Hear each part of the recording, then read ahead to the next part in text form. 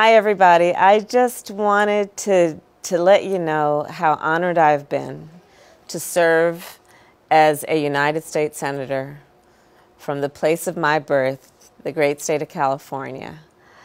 Uh, back when I was a sophomore at Howard University in 1984, I applied to be a Senate intern in the office of the then senior senator from California, Alan Cranston. And this kid from Oakland, I got chosen to be one of the interns. And who would have known so many years later, I would actually run the office where I was once a student watching the incredible work that a senator can do, and especially a senator from California.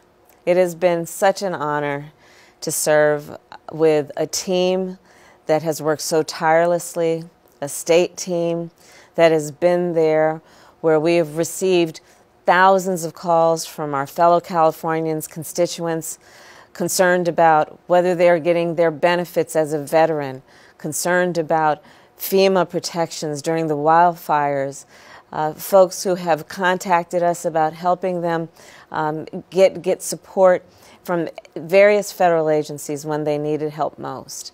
It has been an honor to serve when we have done the work in the United States Congress of fighting for climate protection and fighting knowing that California has been a leader and we can do what we've done in California as a nation.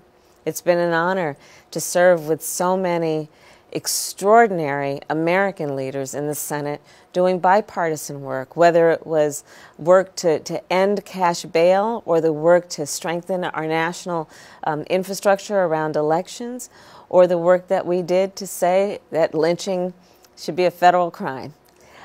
These are some of the things that we have done over the course of my four years, and you gave me the honor of being able to serve. And so I just wanted to say thank you. Of course, I'm not saying goodbye. Um, in many ways, I'm now saying hello as your vice president. But I do want to thank you for the honor of representing the place of my birth as a proud daughter of California. Thank you.